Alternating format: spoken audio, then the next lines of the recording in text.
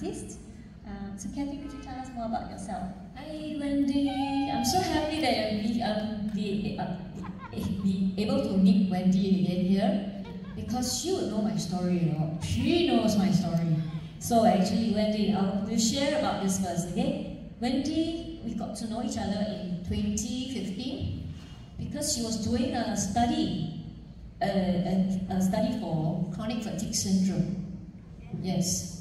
So that's what I have, chronic fatigue syndrome, since like 1998. So I've been managing this um, it's really a debilitating illness, okay? Yeah. And 20 years ago, around 20 years ago, I actually recovered from a major depressive disorder. It was like there was no light at the end of a tunnel. I was institutionalized and everything, you know. When I start sharing, you know, they would say, you, should write a book about that, you know. But I'm not an author, I'm a songwriter, is it? so I said, oh, uh, so I write songs. So I share my stories in songs.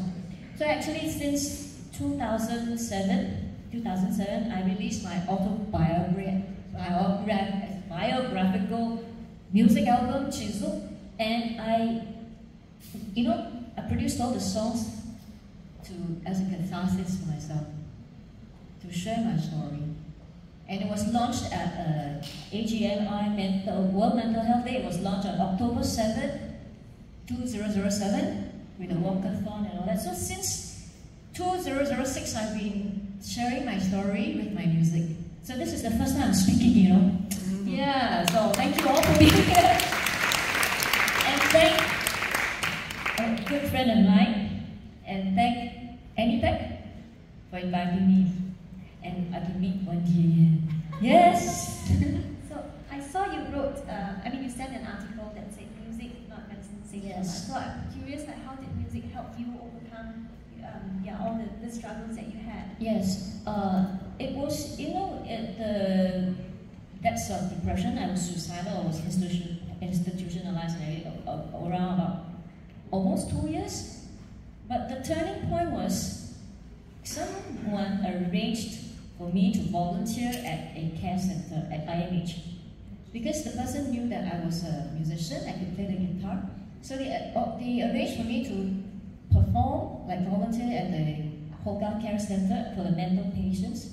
So every week I would be there and then I would have a session with them and then play the guitar and sing. And I, I was telling my people who know me later on, I said, if it weren't for that depression and going to the volunteer, I wouldn't be performing at all. So it was, you know, it was in the year of 2001. And I was also sent to this uh, hospital. It was it's a, it's a secluded place. It's, I still remember it's View Road Hospital, where mental patients were like sort of abandoned, people who had no family and all that. I was also arranged to volunteer to sing for them. And at that point of time, I was still in depression, you know, I was not you know, sleeping. But every time my counselor was, okay, let's meet at a bus stop and then we will go together, we go to the place. Okay, so we do it.